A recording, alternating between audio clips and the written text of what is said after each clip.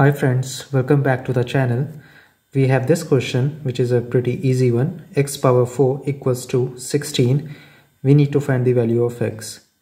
So the trick here is that we need to find the all the values of x. Alright, let's try to solve this equation. We can write this as x power 4 minus 16 equals to 0. Now we can write this as x square whole square minus 4 square equals to 0. As you can see this is the formula basic formula which is a square minus b square equals to a plus b multiplied a minus b. So this is going to be as per this formula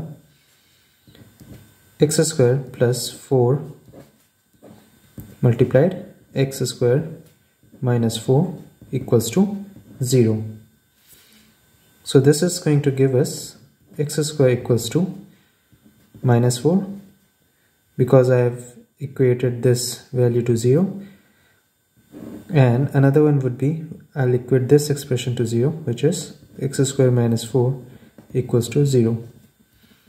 So this is quite clear what is the value of x going to be.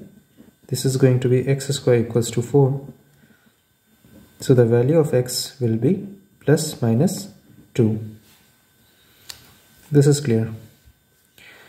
Now to solve this we will have x equals to under root minus 4 plus minus.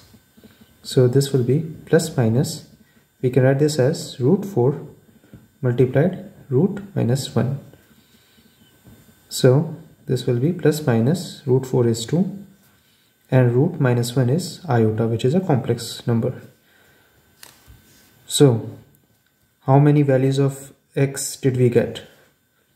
We got 2i minus 2i then plus 2 and minus 2.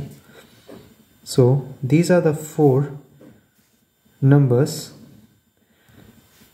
when we will put in this original equation we will get this value 16.